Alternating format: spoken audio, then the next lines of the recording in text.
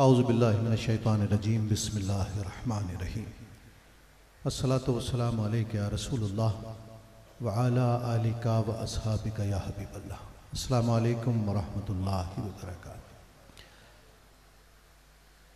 मलिक शौकत साहब को, इनके साहबजादगान को, दोस्तों को, और इस बज़म का हिस्सा बनने वाले तमाम खुश नसीब लोगों को आज की एक और सईद महफिल मुबारक हो।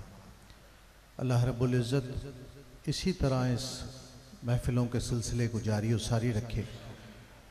ने लिखा है कि अल्लाह किसी एक नेकी के बाद दोबारा उस नेकी की तौफीक दे दे तो समझो पहली कबूल हो गई। इस तनाजुर में देखें तो कितनी कामयाब महफ़िलें मलिक साहब के दामन में हैं और मैं इनके अखलास से बहुत मुतासर हूँ। दुनिया में दो तीन आदमी ऐसे हैं कि जिनका फ़ोन आए तो मुझे परेशानी होती है।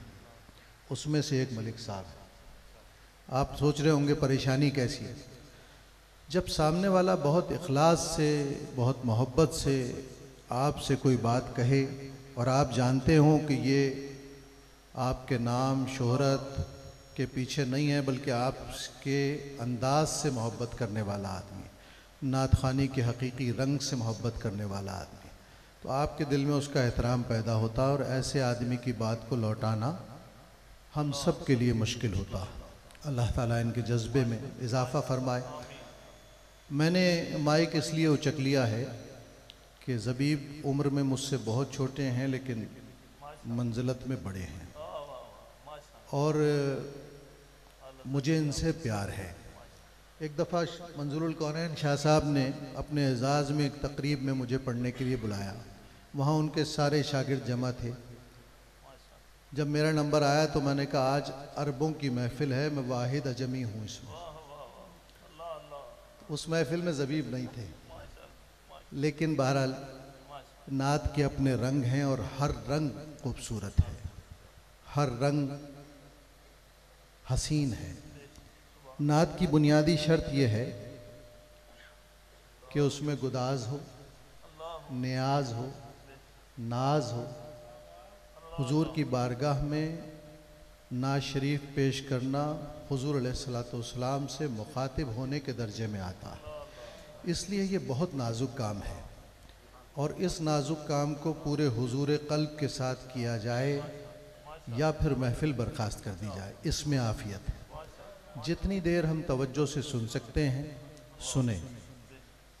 तो नात पढ़ते हुए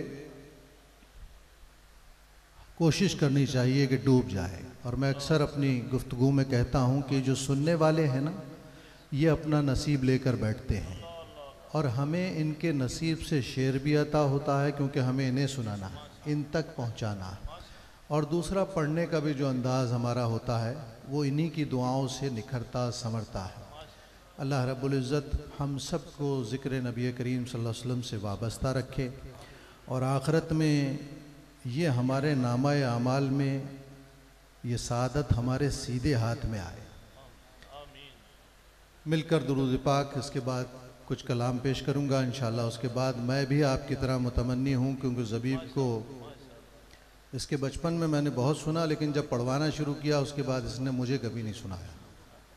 तो आज मैं, मुझे मैसर आ गया है, लेकिन चूँकि मैं इसके दुआ करने वालों में शामिल था और हूँ तो मैं इसे सुन के खुश होता हूँ आज भी।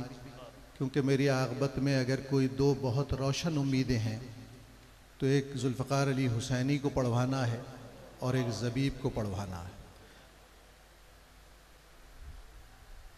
अगर अल्लाह रब्ज़त मुझसे पूछे हशर के दिन क्या लाए हो तो शायद मेरे पास कोई अमल तो नहीं है। लेकिन मैं ये कह सकता हूँ एतबार से कि मौला, तेरे हबीब की शान में पढ़ने वाले इन दो नौजवानों को एक वक्त में मैंने कोशिश की कि ये अपना मकाम हासिल कर सकें। अल्लाह रब्ज़त ने दोनों को अपने मकाम पर पहुँचाया। अल्लाह जुल्फ़ार अली हुसैनी एक बहुत गहरा तासर छोड़ के चले गए और हमें हमेशा याद रहे। और ज़बी माशाल्लाह हैं हमारे दरमियान। अल्लाह इन्हें ज़िंदगी दे, सेहत दे। बहुत पढ़ें और बहुत खूब पढ़ते रहे। मिलकर दुरुद पाक।